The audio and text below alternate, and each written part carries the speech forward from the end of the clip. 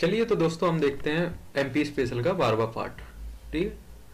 इसमें देखेंगे हम कृषि परिदृश्य और पशुधन एमपी से संबंधित है पूरा। आपको बता दें एमपी में कुल कृषि भूमि है उनचास परसेंट, जिसमें से तैतालीस परसेंट पर एक फसली की जाती है और संतावन परसेंट जो है, इस पर दो फसली, फ़सल उगाई जाती है।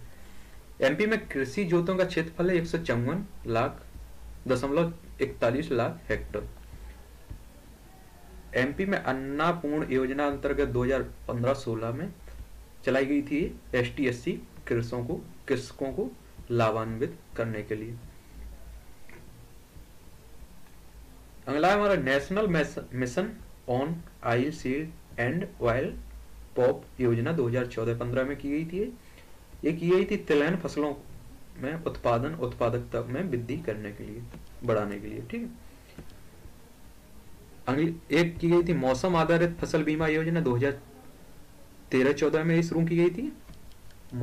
मौसम में जो भी फ़सल बर्बाद हुई थी, उसका भुगतान करने के लिए, लाभ देने के लिए कृषकों को, किसानों को, ठीक राष्ट्रीय उद्यान की मिशन जो 2005 से 6 में चलाई गई थी, एक कृषि मंत्रालय द्वारा चलाई गई थी, भारत सरकार उद्यानिकी को बढ़ावा देने के लिए। औषधीय पादक मिशन 2008 नौ में चलाई गई थी। जन निजी भागीदारी योजना, एक composite logistic hub Powarkheda, Hoshangabad में चलाई गई थी। राष्ट्रीय कृषि बाज़ार योजना चलाई गई थी जिसके तहत करौन मंडी स्थापित की गई थी 14 फरवरी 2016 में। इसके तहत मंडियाँ खोली गई थी। आपको बता दें मध्य प्रदेश खाद्यान्न उत्पादन में चौथे नंबर पे और सोयाबीन, चना, अलसी, दलहन, अफीम में फ़र्स्ट नंबर पे है एमपी और सोयाबीन का जो उत्पादन प्रारंभ हुआ था, देवास ज़िले से हुआ था, और आपको बता दें ज्वार, तिलहन, अरहर में सेकंड नंबर पे एमपी है।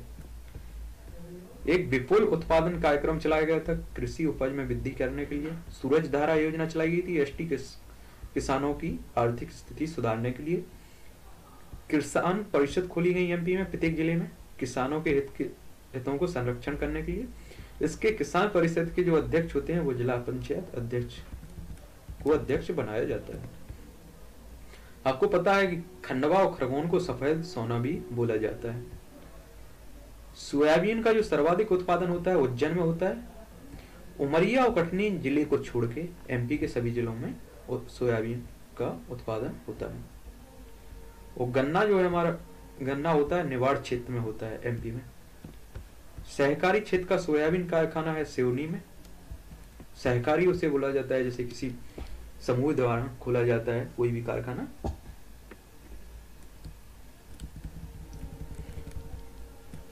सोया बिस्किट संयंत्र भोपाल में, राष्ट्रीय सोयाबीन अनुसंधान इंदौर में, देश की प्रथम जैविक खाद्य इकाई इंदौर में, अवशिष्ट से जैविक खाद्य संयंत्र ग्वालियर में, सहकारी क्षेत्र का कीटनाशक संयंत्र कटनी में, महिला किसानों के प्रशिक्षण योजना के लिए डेनमार्क सरकार की सहायता से चलाई गई थी।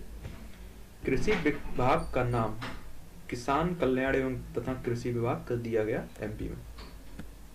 एशिया का सबसे बड़ा सोयाबीन संयंत्र उज्जैन में, थ्रेस्ट परियोजना उन्नीस सौ नवासी में चलाई गई थी, सूखे की स्थिति में सहायता करने के लिए किसानों की। ये चलाई गई थी चावल, गेहूँ, अरहर को सत इसके तहत शत प्रतिशत लाभ दिया गया था। गेहूँ में एमपी में कुल भारत के उत्पादन का 11 परसेंट होता है। मालवा गेहूँ का भंडार बोला जाता है मालवा के पठार को। अफीम जो है, अफीम की खेती होती है मंदसौर नीमच में। और गांजा है जो, गांजा की खेती होती है खंडवा व बुरहानपुर में। सरसों सबसे ज़्यादा होता है ग्वालियर, भिंड, मुरैना में। मूंगफली है, खरगोन में होती है। पीली क्रांति बोला जाता है सरसों, संबंधित है सरसों, अलसी, सोयाबीन से। यहाँ रबी की फ़सल को बोला जाता है उनालू ये अक्टूबर, नवंबर में बोई जाती है और मार्च, अप्रैल में काटी जाती है। आप, आपको बता दें कि सर्वाधिक कृषि जोत मध्य प्रदेश में हरदा में और न्यूनतम कृषि जोत है जो कटनी नीमच में सर्वाधिक सर्वाधिक शुद्ध कृषि भूमि है उज्जैन में और न्यूनतम शुद्ध कृषि भूमि है मंडला में। सर्वाधिक क्षेत्र पर सोयाबीन बोया जाता है मध्य प्रदेश में और दूसरे नंबर पे गेहूँ बोया जाता है क्षेत्रफल पर। राष्ट्रीय दलहन विकास योजना एमपी में चलाई गई थी उन्नीस सौ निन्यानवे में। दलहन को बढ़ावा देने के लिए। अंग्लीय शस्य संयोजन प्रदेश, कृषि जलवायु, ग्यारह प्रदेशों में बांटा गया एमपी में। गेहूँ, चना सबसे बड़ा शस्य प्रदेश है। ये पूर्वी मालवा और बुंदेलखंड में है। मध्य प्रदेश में मंडी अधिनियम आया था 1960 में। मध्य प्रदेश के कृषि क्षेत्र देखते हैं। कृषि विभाग को पाँच कृषि विभाग ने पाँच क्षेत्रों में बांटा है इसे।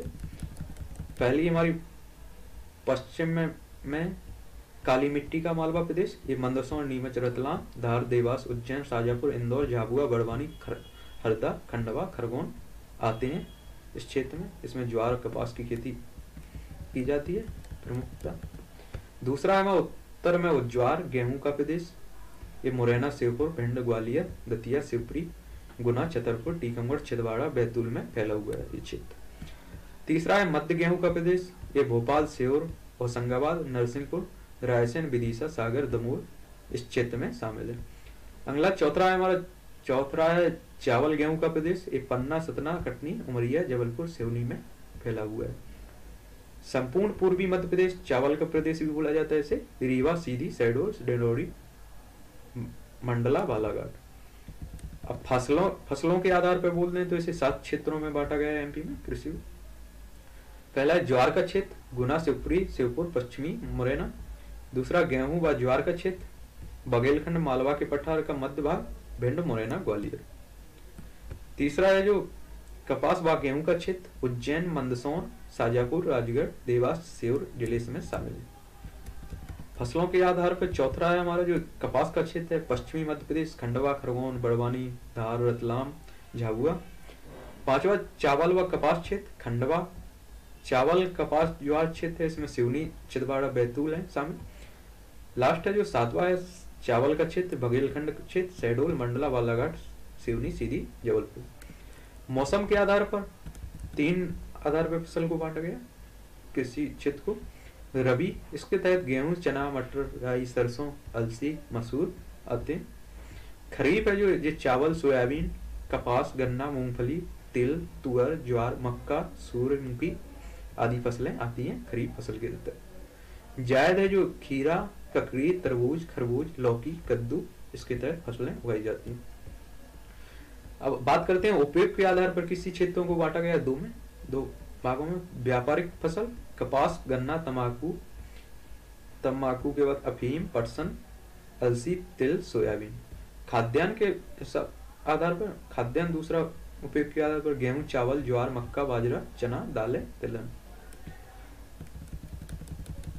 कृषि की जलवायु एवं भौगोलिक दशाएँ देख लेते हैं। कृषि कितनी, कौन सी फ़सल को कितनी वर्षा चाहिए होती है, कितना तापमान, कौन सी मिट्टी, ये भी देखते हैं।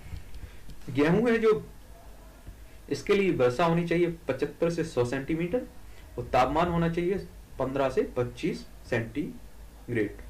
इसके लिए दोमट हल्की कछारी मिट्टी होनी चाहिए।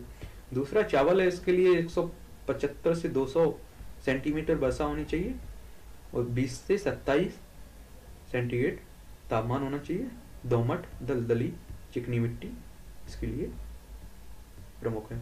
चना है जो इसके लिए 100 से 200 सेंटीमीटर बसा 20 से 26 सेंटीग्रेड तापमान काली मिट्टी में जलूर में होता है। कपास कपास के लिए 60 से 100 सेंटीमीटर वर्षा 20 से 25 सेंटीग्रेड तापमान काली जलूर मिट्टी में उत्पादन इसका होता है। तुअर है, ये 100 से 200 सेंटीमीटर वर्षा होना चाहिए 20 से 60 20 से 26 सेंटीग्रेड तापमान चिकनी दोमट मिट्टी में इसका। ज्वार है अगला इसमें 75 से 100 सेंटीमीटर वर्षा 15 से 26 डिग्री सेंटीग्रेड तापमान, दोमट कछारी मिट्टी। गन्ना है, ये 100 से 200 सेंटीमीटर वर्षा होनी चाहिए इसके लिए। और 15 से 24 सेंटीग्रेड तापमान, हल्की दोमट चिकनी मिट्टी में की खेती की जाती है। आपको बता दें यहाँ रकबा और उत्पादन के हिसाब से देख लेते हैं। कौन सी कृषि, किन क्षेत्रों में कौन से ज़िले प्रथम नंबर पे हैं और अधिकतम और न्यूनतम? ठीक है, दोनों देख लेते हैं। आपको धान की फ़सल की बात आए तो अधिकतम धान होती है रकबा के आधार पर ही इस तरह पे उत्पादन के आधार पर। रकबा के आधार पर धान है, पहले अधिकतम होती है बालाघाट, सिवनी, मंडला में, और न्यूनतम होती है इंदौर, नीमच, शाजापुर में।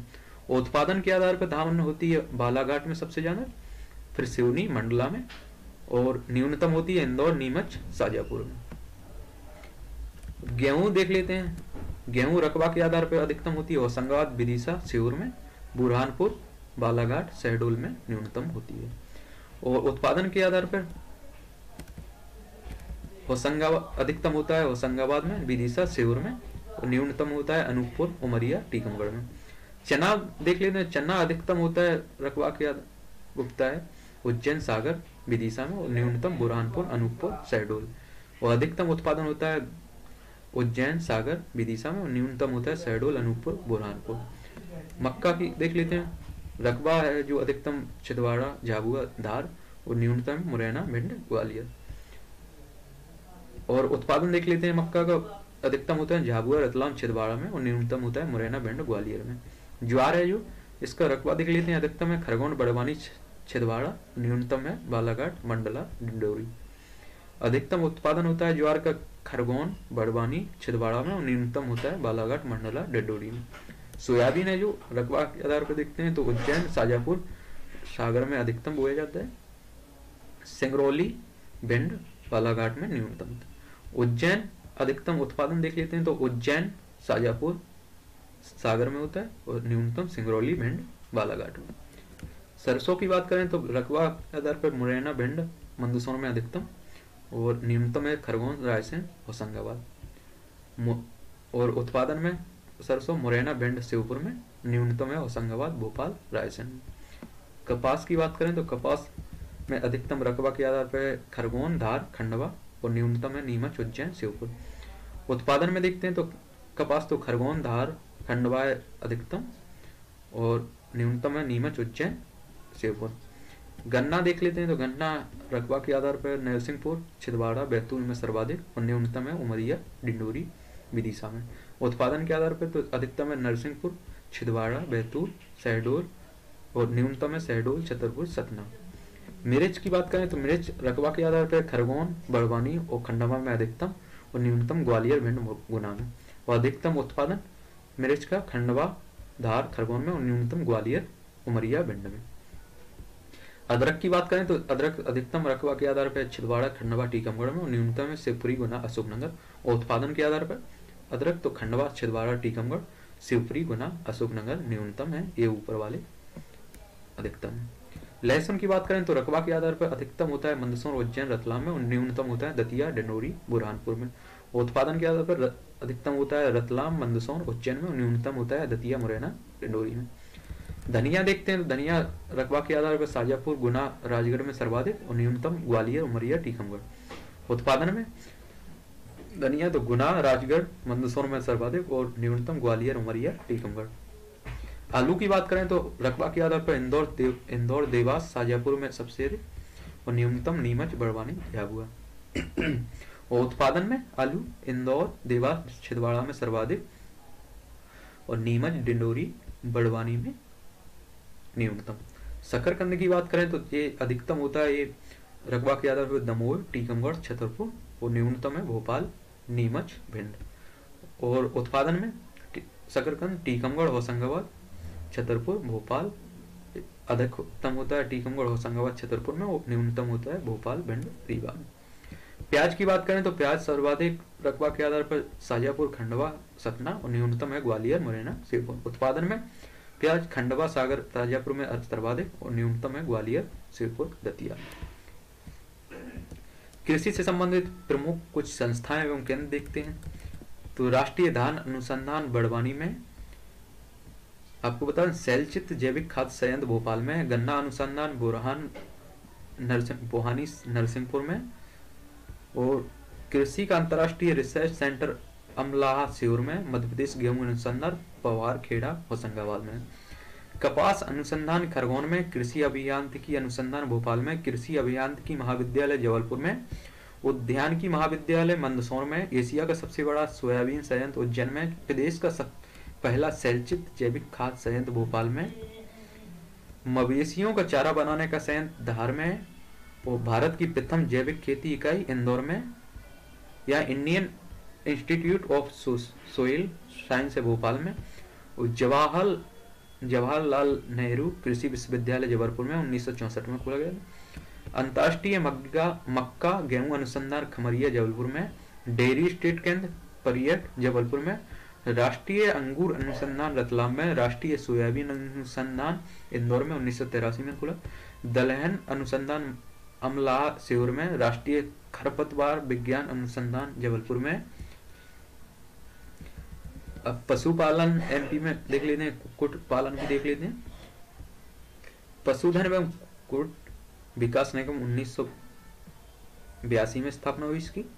2012 की पशु गणना के अनुसार एमपी में देखते हैं तो गौ, भैंस है एक सौ नौ दशमलव अंठावन लाख और पशुधन नौ, कुल पशुधन देखते हैं तो तीन दशमलव तिरसठ करोड़ और कुकुट और बतख देखते हैं तो एक सौ उन्नीस दशमलव लाख। और भेड़ा की बात करें तो तीन दशमलव नौ ज़ीरो नौ लाख। और बकरे बकरियाँ देख लेते हैं तो अस्सी दशमलव चौदह लाख है। 2016-17 के हिसाब से देखें तो दस सौ तिरसठ पशु चिकित्सालय हैं, पंद्रह सौ पचासी पशु औषधालय हैं, अड़तीस पशु चिकित्सालय इकाइयाँ हैं, बाईस जिला स्तरीय रोग अनुसंधान शालाएँ हैं। आपको बता दें, कृषि बी संग्रहालय भदभदा भोपाल। आईएसओ सर्टिफिकेट नौ हज़ार दो हज़ार आठ मानक ब्यूरो के हिसाब से इसे मान्यता प्राप्त है। इसे यह 25 मार्च 2016 से 24 मार्च 2019 तक मान्यता प्राप्त है। ऑपरेशन फ्लड सेकंड कार्यक्रम जो 1980 इक्यासी में चला है, इसके तहत चार दुग्ध संघ बनाए गए थे, ग्वालियर, जबलपुर, रायसेन सॉरी रायपुर सागर। ठीक है। थर्ड है जो हमारा अमूल पद्धति पर डेयरी विकास किया गया था ऑपरेशन पर। पशुधन है जो 100 बता दें आपको कि पशुधन 110 पशु प्रति वर्ग किलोमीटर है। और सबसे ज़्यादा है टीकमगढ़ रीवा में और न्यूनतम है होशंगाबाद में। सर्वाधिक पशु संख्या है सीधी में और न्यूनतम है बुरहानपुर में। सहकारी डेयरी विकास कार्यक्रम 1975 में चला था। आनंद पद्धति पर भूमि विकास निगम उन्नीस सौ सतहत्तर, अठहत्तर में चला। पशु धन शिक्षा महाविद्यालय जबलपुर, महू में। गोवंश आयोग, गोवंश संरक्षण के लिए मध्य प्रदेश पहला स्टेट है जिसने बनाया था। एकीकृत डेयरी विकास परियोजना उन्नीस में चली। दुग्ध उत्पादन में बढ़ावा देने के लिए विश्व बैंक के सहयोग से आदिवासी डेयरी विकास परियोजना शहडोल मंडला सीरी, बालाघाट, छिदवाड़ा में चली थी। नंदी साला योजना 26 अक्टूबर 2006 में प्रत्येक ग्राम पंचायत को उन्नत बनाने के लिए कलोर संगोपन कार्यक्रम, ये चल रहा था बच्चियों को गाय में पोषित करने के लिए। ठीक है? चलिए अगले लेक्चर में हम एमपी स्पेशल के तेरहवें पार्ट की बात करेंगे वन संपदा एवं वन्य जीव। ठीक है, इस लेक्चर को यहीं खत्म करते हैं।